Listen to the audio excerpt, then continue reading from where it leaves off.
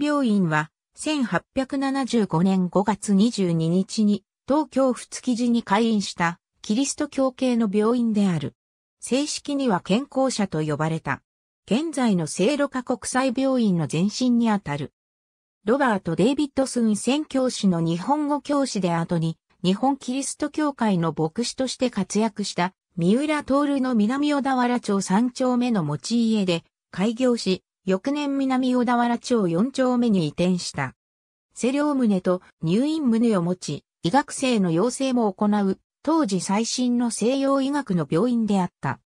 スコットランド一致長老協会海外伝道局は、開業にあたり600ポンドを出資したキリスト教系の病院である。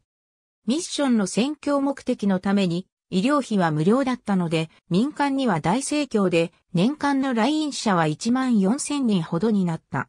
イギリス・スコットランド一致長老教会の医療宣教師ヘンリー・フォールズが医師として就任した。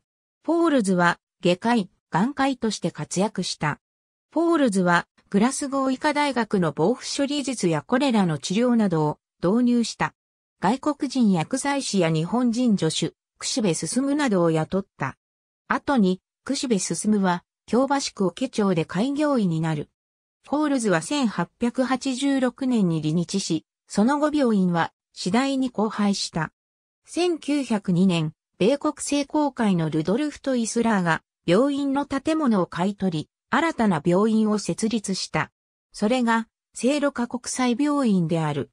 したがって、本院は、聖路加国際病院の前身ではあるが、直接のつながりは持っていない。東京公会の長老で後に牧師になった奥野正綱が入院中に病の床にもと題する賛美歌を作った。それが後に賛美歌397番になった。ありがとうございます。